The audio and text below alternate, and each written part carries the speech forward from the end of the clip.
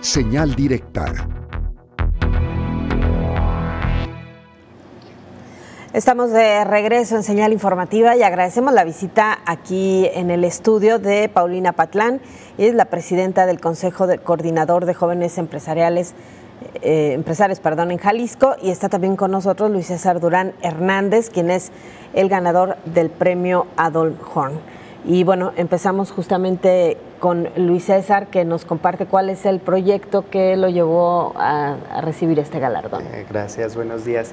Sí, eh, fíjate que tenemos, eh, soy el director de Thematic Brands, es la empresa que, dirijo y se divide en dos partes. La primera de ellas es dedicada al sector restaurantero con los restaurantes Punto Mágico.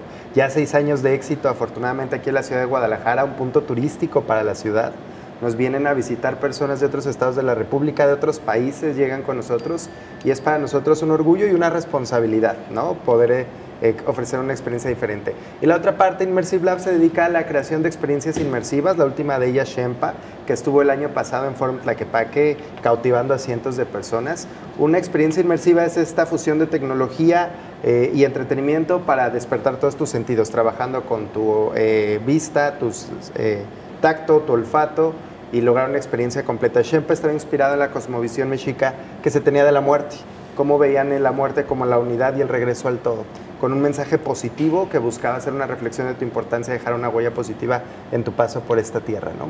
Y mi idea es esa, crear experiencias que dejen un poco más un contenido de valor y que te saquen de tu contexto habitual. ¿no? Como yo me presentaba en el premio y en mi pitch principal era yo soy un creador de experiencias y lo que más me gusta es cuando una persona dice wow ante algo que yo creo, algo que salió de mi mente y lo puede vivir en, carne propia. Claro que en el proyecto de, los restaurantes, eh, pues es este mundo extraordinario de, Harry Potter y todo lo que, lo que implica el contacto con la magia, con, con, la fantasía, ¿no? Sí, fíjate que parte de lo que yo digo que es mi misión es justamente sacar a la gente un poquito de su contexto del día a día.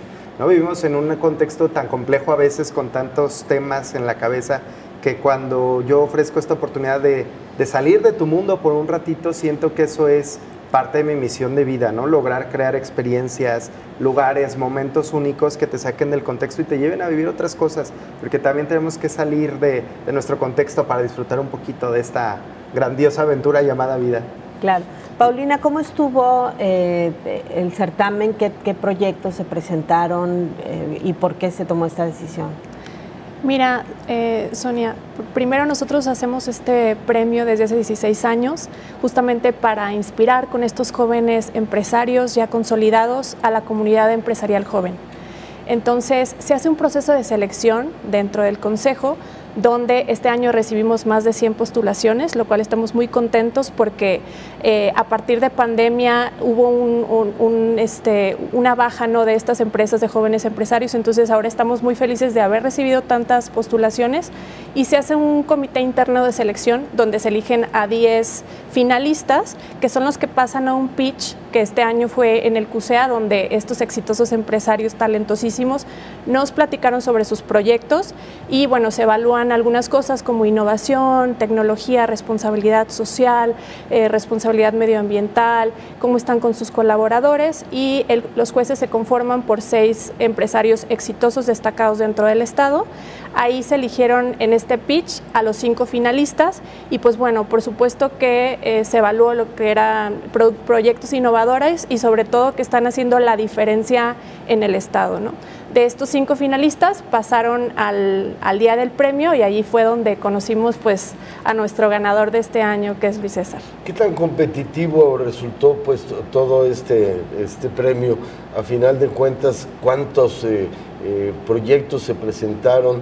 ¿De qué nivel? Eh, ¿Qué tan grande fue la, la la participación en este caso? Pues fueron 100 postulaciones de giros bastante diversos tuvimos de todo, tuvimos restaurantes, tuvimos eh, arquitectos, constructores de iluminación, eh, jóvenes que se dedican al agro, o sea, tuvimos bastantes proyectos y pues bueno, aquí se evaluaron a, pues ahora sí que a los mejores que tuvieran mayor impacto, eh, también se evaluó un tema de facturación, cuánto tiempo tienen operando y sobre todo pues esta responsabilidad no nada más hacia internamente en la empresa, sino hacia la sociedad. Y pues bueno, de ahí salieron estos 10 y se tuvieron que elegir a los 5 y pues bueno, ya, ya tenemos a, nuestro ganador. Claro, oye Luis, ¿y cómo eliges un, un tema, cómo eliges un proyecto y qué implica eh, eh, el llevarlo a la práctica, sobre todo?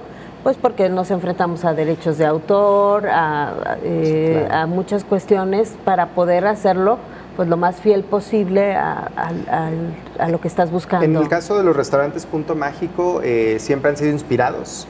¿no? De hecho, hay más de 450 negocios alrededor del mundo inspirados en esta saga mágica que ha llenado la vida de muchas personas. Entonces es eh, de la mano de un experto en propiedad intelectual pudimos hacer esta parte de hacer una referencia sin hacer una violación de derechos de autor. No, no se ocupan imágenes de la saga tal cual, sino se hace una inspiración al mundo mágico que, nos ha regalado esta saga.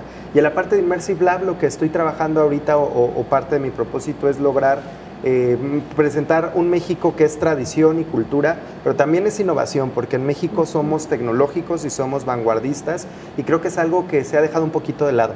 Ahorita en Immersive Lab tenemos esta idea de democratizar las experiencias inmersivas, de la mano del sector público, acercarlas a mercados que no tendrían la posibilidad probablemente de pagar por experiencias de este tipo, porque yo lo que comentaba en mi pitch es, imagínense la semilla que podemos sembrar en un pequeño o en un joven que no tendría acceso a este tipo de experiencias y ver una nueva posibilidad de desarrollo tecnológico y profesional y saber que México también es eso, ¿no? Saber que México también es vanguardia, es tecnología y, México está creciendo la economía naranja, que es la encargada de esta parte del entretenimiento, a una velocidad impresionante, más rápido que lo que está creciendo en el mundo. Entonces yo exhorto al sector privado y al sector público a voltear a ver a las economías naranjas, ¿no? Impulsarlas como una nueva oportunidad de desarrollo para los jóvenes, ¿no? Que es el futuro, hay que apostarle al futuro, ¿no?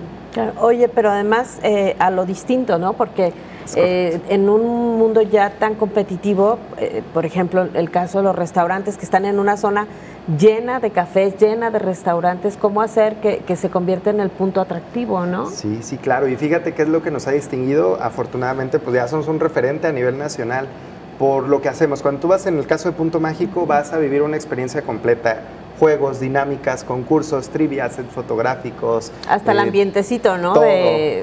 sí. todo cambia porque la idea es que justamente te transportes a otro, a otro mundo por un ratito, ¿no? Y en todo lo que hago siempre quiero dejar esta parte de salte tantito de tu contexto, vámonos a otro mundo, a otra experiencia y aprovechar para dejar un mensaje. En el caso de las experiencias inmersivas como Shempa, el tema era dejar esta semillita de, aprovechar al máximo tu paso por esta tierra, ¿no? Y siempre busco temáticas que exalten la cultura, el color, la tradición de México, pero que reflejen lo innovadores y tecnológicos que también somos. Claro. Paulina, ¿qué, características se buscan cada año cuando se, se premia a, alguien que participa? Eh, justamente para que sea esto, ¿no? Algo que, marque, que, despierte el interés de, otros empresarios o de otros jóvenes que quieren emprender. Bueno, este año nos enfocamos mucho en la innovación y tecnología de los proyectos. En el Consejo, en los ejes que se están empujando dentro del Consejo, es justamente llevar eh, que la innovación impacte los emprendimientos, hacer las cosas diferentes. Y ya lo estamos viendo, creando experiencias, eh, creando o, ver cómo hacemos las cosas diferentes desde una manera o, un emprendimiento tradicional, cómo implementamos la tecnología y la innovación para hacerlo diferente y no nada más quedarnos en lo local, sino ir a, mercados nacionales internacionales, que eso es lo que estamos buscando dentro de los ejes. Entonces, fue algo que se tomó en cuenta, eh, independientemente de los factores que siempre evalúan los jueces, como ya lo mencionaba pero este año fue muy importante, inclusive el tema del premio Adolf Horn este año fue inteligencia artificial, que sabemos que es una herramienta que está revolucionando el mundo y está creando un precedente para y está generando una huella en la humanidad, es como esta extensión del internet que en su momento cuando iniciaba el internet pues causó una revolución y ahorita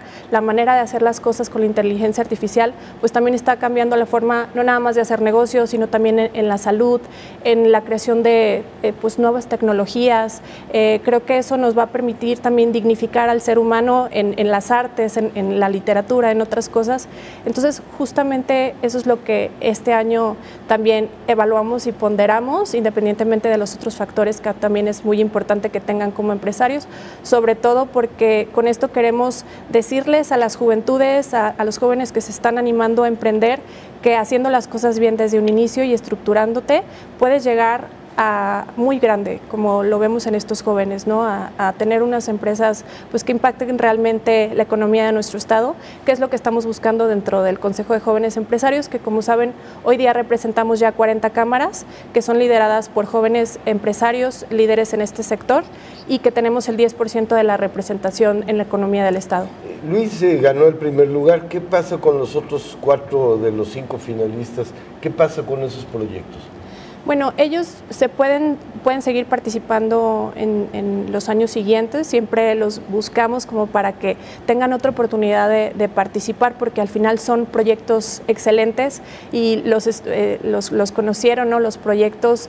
Eh, en, este caso, pues los seguimos eh, invitando a participar, pero también ellos tienen pues bastante exposure con, estas entrevistas, con estas eh, eh, oportunidades de platicar los proyectos y también por supuesto que eso genera que pongan atención a los proyectos y ha habido oportunidades de, a lo mejor inversión o, personas que están interesadas en estos proyectos al conocerlos y pues también tienen esa, esa ventaja, ¿no? ese apoyo. Perfecto, muy bien. Pues muchísimas gracias a los dos por la visita y pues mucha suerte que, que siga súper bien el proyecto. Paulina Patlán, quien es presidente del Consejo Coordinador de Jóvenes Empresarios de Jalisco, y Luis César Durán Hernández, ganador en este año del premio Adorn. Nosotros hacemos una pausa muy breve y regresamos con más información.